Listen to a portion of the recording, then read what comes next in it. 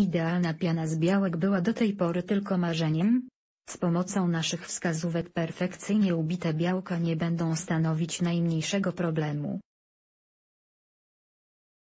Sprawdź też, mrożenie żółtek, jak zamrozić żółtka jajek? Mrożenie białek, jak zamrozić białka jaj? Jak ubić idealną pianę z białek? Idealnie ubite białka to nie kwestia kucharskiego talentu, ale wiedzy.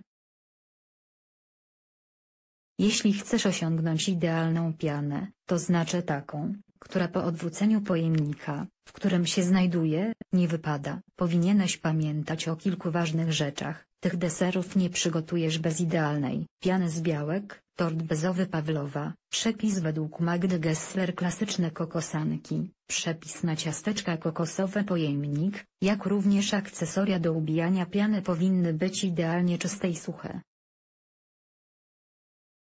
Powłoka z tłuszczu, czy pozostałości piany po zmywaniu nie tylko zmienią smak piany, ale również utrudnią osiągnięcie perfekcyjnie sztywnej konsystencji? Jajka, których używasz do zrobienia piany powinny być schłodzone. Takie jajka będą ubijały się dużo sprawniej, niż te w temperaturze pokojowej. Białka, w których znajdzie się nawet mała ilość żółtka nie będą się ubijać. Szczególnie uważaj podczas oddzielania białka od żółtek, aby przyspieszyć ubijanie się jajek możesz nieco schłodzić naczynie, w którym będziesz je miksować.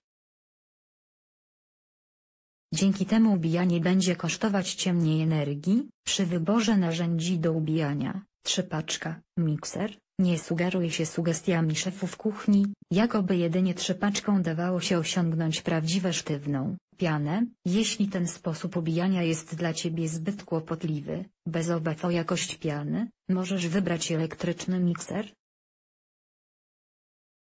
Jeśli zależy Ci na naprawdę sztywnej i trwałej konsystencji możesz dodać do białek kilka kropel cytryny, odrobinę cukru pudru lub soli.